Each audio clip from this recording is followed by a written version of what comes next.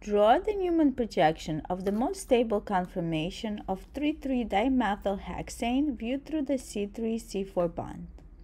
So the first thing that we need to do is we need to draw our molecule. Hexane means we have a six carbon chain. So we will start by drawing a six carbon chain. One, two, three, four, five, and six.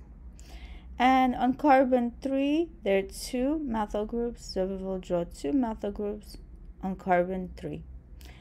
Now, we have to look at carbon 3 to carbon 4 bond. So this is my carbon 3 and this is my carbon 4. And we need to draw the most stable conformation. The most stable conformation for Newman projection is a staggered conformation where the groups attached to the front carbon are spread out from the groups that are attached to the back carbon. So this is where I will start. I'm going to draw a circle and I'm going to draw three lines like this.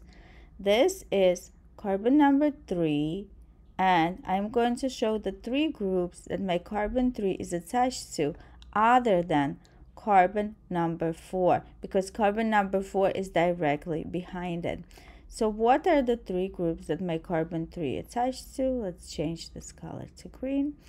It's attached to a methyl, another methyl, and an ethyl group.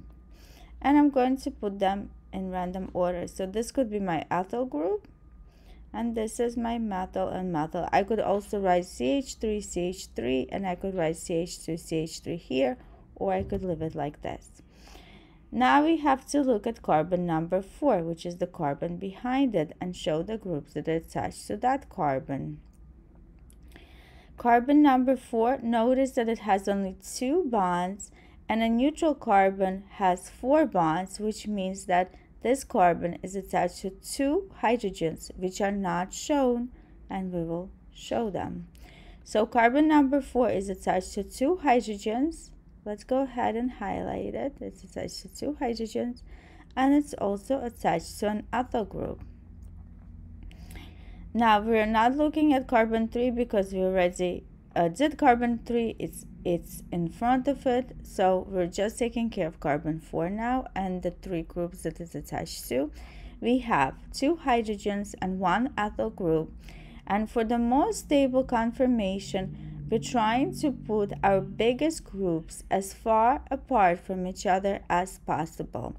So on the front carbon, I have an ethyl group, which is a really big group. And on carbon number four, I have two hydrogens and an ethyl group. So the first thing that I will do is I will attach an ethyl group here. So it's as far apart from the carbon, from the ethyl group on the front carbon as possible. And then my other two groups will be hydrogens. So this is the most stable conformation, the lowest energy conformation of this molecule through the C3-C4 bond.